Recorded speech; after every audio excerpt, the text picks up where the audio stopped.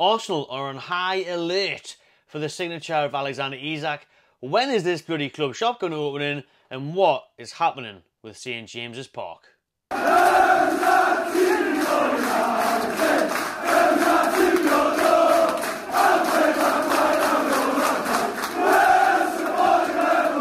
Yes, yes, people, welcome back to the Magpie Channel TV. Nearly Friday, and that day was apparently going to be the day of the new club shop opening. We'll get into that first and foremost. We've got a few things to run through in this video, so make sure you smash a like and subscribe on it.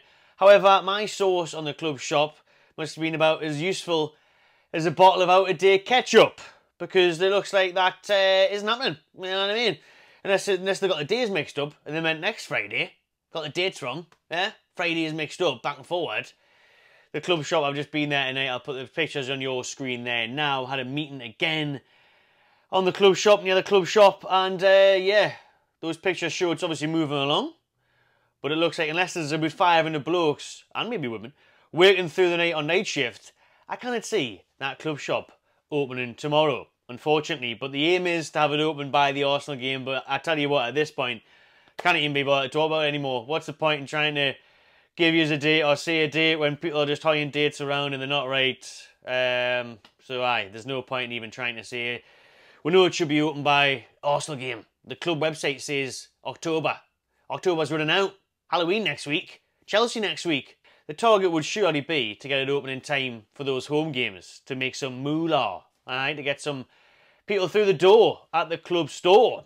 That's still patiently waiting. But uh, it's not open by the Chelsea game, surely be open by the weekend of the Arsenal game, which will then be November.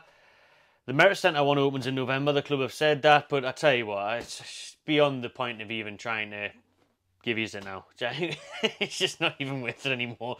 So yeah, the club shop, like I said, it's looking very unlikely for what I've seen this afternoon that it'll be open tomorrow. Should be open next week. Should have been open months ago. Yeah, that's that. Let's let's move on. However, let's move on to some more news that's been reported by the Mail tonight that uh, Newcastle are not in contract talks with Alexander Isak. So this week, the club officially released the video, the statement about Anthony Gordon signing a new deal. Everyone was like, great, Isak next. That's the way the world works, know, fantastic, but what's next? On to the next one. And that next one is, of course, Alexander Isak. However, these are reporting that Newcastle United are not in talks with the Swedish striker. It was rumoured that we were trying to get a deal tied up for Alexander Isak to extend his current contract that does indeed still have three years left on it. However, according to the Mail, Isak's camp are not willing to sign a new deal yet. Apparently, they are waiting to see how this season plays out and are wanting Champions League qualification before committing any more of his future to Tyneside, which has obviously led Arsenal to being on red alert. We know the Gunners are big fans of Isak. They were interested in signing him from Sociedad before Newcastle did. And then we had all the comparisons of Thierry Henry to Isak because of his dazzling runs and his clever finishing and he's just agility in the way he moves, to be fair. It is very Henry-esque, but that's led to that uh, comparisons and the Arsenal fans getting excited and wanting him and Everyone's saying that Arteta and the Gunners need an out-and-out striker, and Isak fits that bill. He is the goal scorer. He is Premier League proven, even though he does have the injury record. That they are now after him. They are sniffing around, wanting a piece of him. Well, wanting all of him, to be fair. Newcastle can't tie him down, but they aren't too bothered by that. Apparently, they aren't overly worried about Isak because he does have those three years remaining on the contract, and he is one of the Toon's highest earners. Unlike Gordon, who did still have time left on his contract, he wasn't on the best of wages, but because of his skyrocketing form and getting in the England side and links to Liverpool, Newcastle have sealed a new deal for him, thankfully.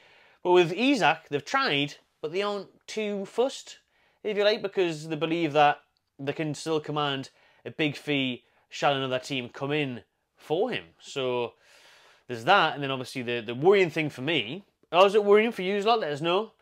Concern being Isak not committing to to the mags. You know, seeing how it goes. Which we've said time and time again. Me and Keg have said it specifically on the podcast, you know, that these players need to, we need to, sorry, do well, get success, win trophies, get European football to keep these players, to keep your Isaks, your Brunos, your Botmans.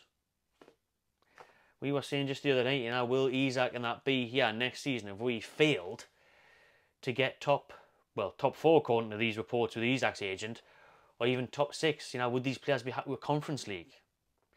Maybe we did too well too soon and given the likes of Bruno and Gordon a taste of the biggest nights in football at the San Siro and the Champions League nights at St James's against PSG, maybe that has set the standards, set the bar too high, too soon, because now they expect that and they want that. You know, that's the worrying thing, is if we had a natural progression of Thursday nights away to bloody middle of nowhere in the Conference League, you know, Switzerland B team or something, or Europa League to um, the middle of Turkey or something, then would that have eased them in better than, like I said, bloody Borussia Dortmund in the Champions League? So, yeah, that one is worrying for me, Zach. But I tell you what, it's just realistic, to be honest, because you, you can't expect these top, top players to stay here when you're not delivering. So maybe if you can convince them of the project and just say, have a bit of patience, give her one more year. It happened because of X, Y, and Z, FFP, and look who we're going to sign in the summer. Maybe you can get them that way, but he's out there, it's not looking too good. If I'm just reading what the Mail has said specifically, let's put me specs on. You know how bad my eyesight is. There is a high chance that Arsenal will come in from next summer after his camp were reluctant to commit to a new long-term deal. While the Magpies would not want to lose their star striker, and he is thought to be perfectly happy living on Tyneside and working on Eddie Howe, Sporting Director Paul Mitchell has spoken of the need to trade players to increase their score for spending within the profit and sustainability rules. The hierarchy and senior staff also recognise a need for this and the way things are going, basically. So, yeah, I've covered most of it there, but that is the way things are going, and we will have to trade, especially if we don't manage to hit European qualification.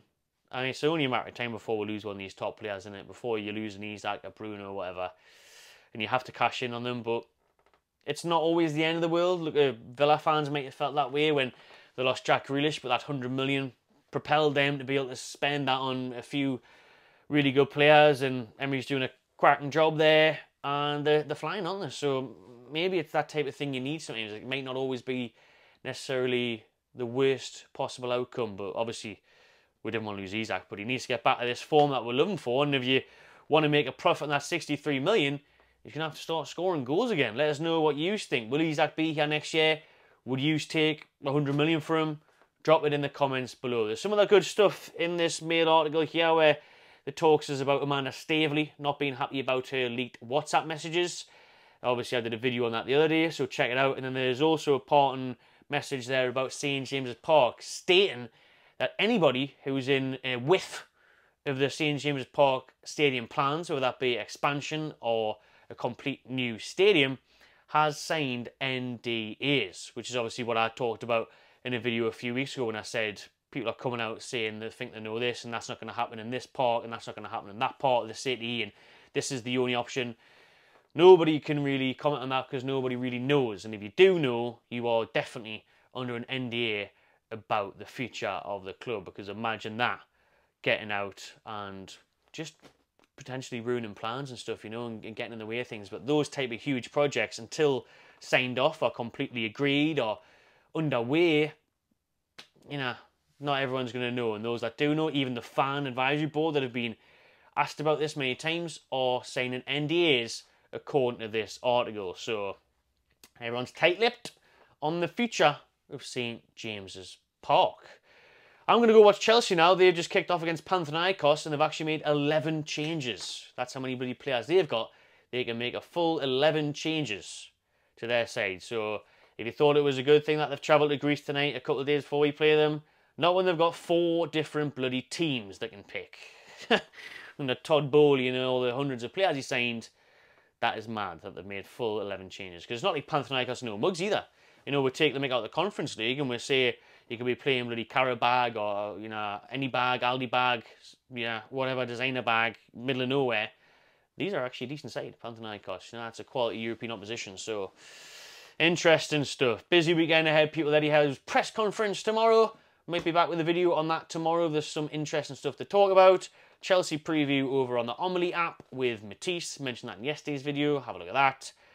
Let us know your thoughts on everything in today's video. Comments below. Subscribe to the channel and I'll see you on the next one.